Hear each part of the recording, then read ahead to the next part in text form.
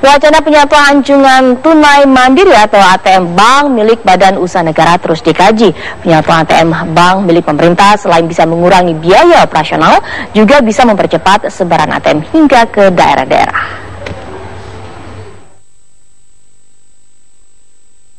Pemerintah sedang mewacanakan penyatuan mesin ATM milik Bank BUMN dengan tujuan mengurangi biaya operasional.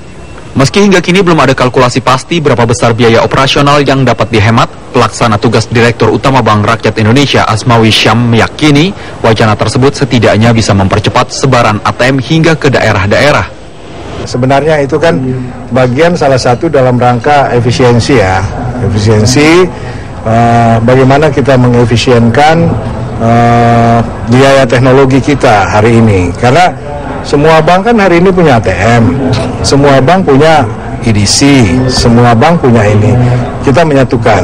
Nah ini dalam kajian kita bersama-sama, kita harapkan bahwa ini bisa kita jadikan uh, sinergi, terutama untuk uh, Bank BUMN dulu ya. Kita harus melakukan sinergi BUMN Kepala Ekonom Bank Mandiri Destri Damayanti menilai wacana penyatuan ATM Bank BUMN perlu didukung untuk memperluas jaringan ATM serta memperkuat sinergi antar bank-bank pemerintah dengan adanya penggabungan kan pasti akan ada efisiensi.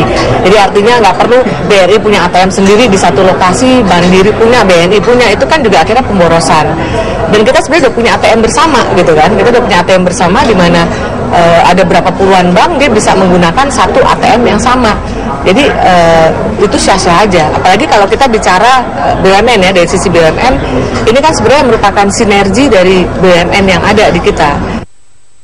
Untuk mendorong wacana ini agar bisa terrealisasi, pemerintah harus bisa memberikan insentif bagi bank BUMN.